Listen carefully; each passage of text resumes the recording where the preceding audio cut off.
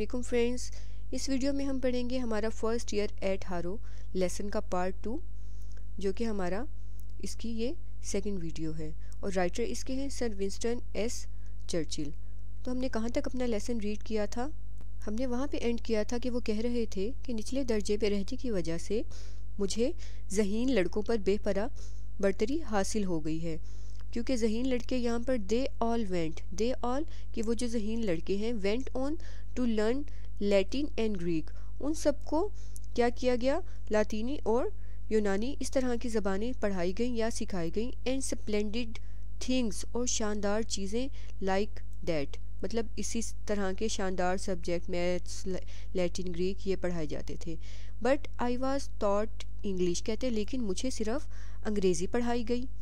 We were considered कहते हम समझे जाते थे सच डंसिस ऐसे डंसिस को कहते हैं नालायक, कि हम इतने नालायक स्टूडेंट समझे जाते थे that we could learn only English कि हम सिर्फ़ जो है अंग्रेज़ी ही सीख सकते हैं, इसके अलावा और कुछ नहीं सीखते।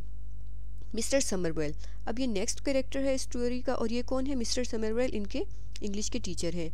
अ मोस्ट डिलाइटफुल मैन एक बहुत ही शानदार, खुशबाश आदमी टू होम माई डेप्ट इज़ ग्रेट कहते हैं कि जिस, इस काम क्या था? बहुत, जिसका मुझ पर कहते हैं डेप्ट इज़ ग्रेट के बहुत ज़्यादा एहसान है was charge with the duty of teaching the stupidest boys के जिनको चार्ज जिनको ये काम दिया गया था कि वो पढ़ाएँ स्टूपियस्ट बॉय के इन जो नालायक लड़के हैं, इनको पढ़ाएँ। टू मोस्ट डिसरिगार्डिंग थिंग कि बहुत ही जो है डिसरिगार्डिंग थिंग के जैसे जिस काम में इन्हें थोड़ा सा इन्हें इंसल्ट फील हो रही थी या ये आप कह लें बहुत ही आ, हकीर तरीन चीज़ के निकम्मे लड़कों को हकीर तरीन चीज़ जो कि क्या थी इंग्लिश पढ़ाई जाए। Namely to write mere English कि जस्ट वो इंग्लिश थी। हकीर तरीन चीज़ डिसरिगार्डिंग थिंग किसको कह रहे हैं? इंग्लिश को कह रहे हैं कि इंग्लिश ज़बान उन्हें निकम्मे लड़कों को पढ़ाई जाएगी। अंग्रेज़ी लिखना उन्हें पढ़ाया जाएगा। ही न्यू वो जानते हैं हाउ टू डू इट कि उन्हें ये कैसे करना है या उन्हें कैसे पढ़ाना है। He taught it as no one else have ever taught it कहते उन्होंने हमें अंग्रेज़ी इस तरह से पढ़ाई जैसे कभी किसी ने नहीं पढ़ाया था।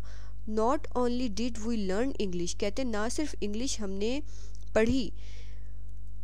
पार्सिंग थॉरोली कहते मुकम्मल तौर पर हमने इस पर अबूर भी हासिल कर लिया। But we also practised continuously English analysis कहते लेकिन हमने अंग्रेज़ी ज़बान का जो तजिया है, उस पर भी काम जारी रखा।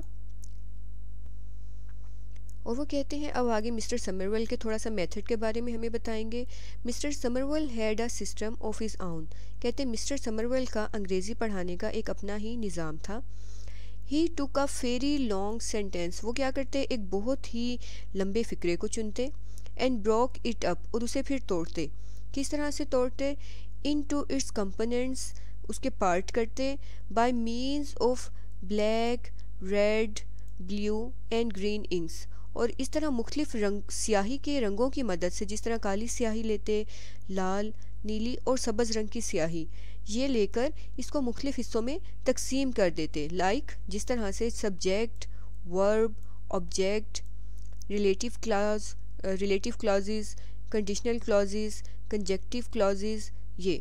किस तरह से जो फ़ाइल मफूल वर्ब जिस पर हम काम कर रहे होते हैं, शर्तिया जुमला कोई जेली जुमला, तरदीदी जुमला, इस सब जुमलों में इस तरह से वो उसे डिवाइड कर देते। फिर क्या करते? Each had its colour and its bracket हर जो जुमला है ना, जिस तरह स्टूडेंट्स को पता होता था कि ये जो ब्लैक इंक से लिखा है ना, ये सब्जेक्ट ही होगा और ग्रीन इंक से लिखा गया ऑब्जेक्ट तो वो इस तरह से एक ही कलर की इंक एक सब्जेक्ट को या वर्ब को प्रोमिनेंट करने के लिए जब वो लिखते तो इससे क्या हुआ? स्टूडेंट्स को पता लग जाता कि हर उसका, हर फिक्रे का अपना ही रंग है और उसका अपना ही ब्रैकेट है। इस तरह से ये लोग जो हैं, बहुत अच्छे तरीके से इंग्लिश गेन करते रहे। It was a kind of drill कहते ये एक किस्म की क्या थी? ड्रिल थी, मशक थी, जो हम डेली करते थे। We did it almost daily कहते हम ये रोज़ाना करते थे। As I remained in the third three times as long as anyone else कहते हैं कि जैसे कि तीन तीसरे दर्जे में मैं किसी भी लड़के से ज़्यादा अरसे तक रहा हूँ तो कह रहे हैं I had three times as much of it तो कहते मेरे पास ये करने के लिए तीन गुना ज़्यादा काम मुझे कहते करना पड़ा। आई लर्न इट थोरोली कहते मैंने इससे मुकम्मल सीख लिया कि किस तरह से एक एक लॉन्ग सेंटेंस लेना है और उसके पार्ट करने हैं और उसे डिवाइड करने हैं तो इन सब चीज़ों पर इन्हें मुकम्मल तौर पे अबूर हासिल हो गया। जब इस तरह से उन्हें अंग्रेज़ी सिखाई जाती थी तो वो आगे क्या कहते हैं? कि thus I got it I got into my bones the essential structure of the ordinary British sentence कहते हैं कि किसी भी जो बरतानवी आम अंग्रेज़ी फ़िक्रे का जो ढांचा है ना, कहते वो मेरी हड्डियों में रच बस गया। इतने अच्छे तरीके से इन्हें इंग्लिश समझ आ गई। Which is a noble thing कहते जो कि मेरे लिए बहुत ही अच्छी बात थी। And when in after years कहते और कई सालों के बाद माई स्कूल फेलोज़ मेरे जो स्कूल के साथी थे हु हैड वन प्राइजेस जिन्होंने बहुत से इनामात जीते थे एंड डिस्टिंक्शन और बहुत ही इम्तियाज़ जिनको हासिल था दूसरे सब्जेक्ट पढ़ने का for writing such beautiful Latin poetry and pithy Greeks epigrams had तो कहते हैं वो जो लड़के थे जिन्होंने खूबसूरत लातीनी ब्यूटीफुल लैटिन पोइट्री खूबसूरत लातीनी शायरी और यूनानी ज़बान में ज़रबुल मिसल लिखने की वजह से बहुत से इनामात और इम्तियाज़ात जीते थे। Had to come down again कहते हैं उन्हें दोबारा से कम डाउन अगेन नीचे आना पड़ा। टू कॉमन इंग्लिश आम अंग्रेज़ी ज़बान की तरफ़ या आम अंग्रेज़ी ज़बान सीखने के लिए। टू अर्न देयर लिविंग अपनी रोज़ी कमाने के लिए, और मेक देयर वे या फिर अपनी तरक्की उसमें करने के लिए। I did not feel myself at any disadvantage कहते हैं कि मैंने अपने आप को, बिल्कुल भी मुझे अपने ऊपर कोई अफसोस ना हुआ या मैं बेफ़ायदा ना रहा। क्योंकि नेचुरली कुदरती तौर पर I am biased in favour कहते कि मैं इस हक में हूँ। ऑफ़ बॉयज़ लर्निंग इंग्लिश के लड़के जो है ना, उन्हें ज़रूर लड़के अंग्रेज़ी सीखें।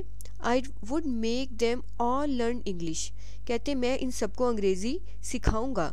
And then I would be I would let the clever one learns Latin as an honour और कहते हैं, अगर कोई लड़का बहुत ही ज़्यादा जहीन है ना तो मैं उसे जो लातीनी ज़बान है, वो किस लिए? तफरी के तौर पे सॉरी इज़्ज़त के तौर पर सिखाऊँगा एंड ग्रीक और ग्रीक सिखाऊँगा ऐसा ट्रीट और यूनानी ज़बान तफरी के तौर पर सिखाऊँगा.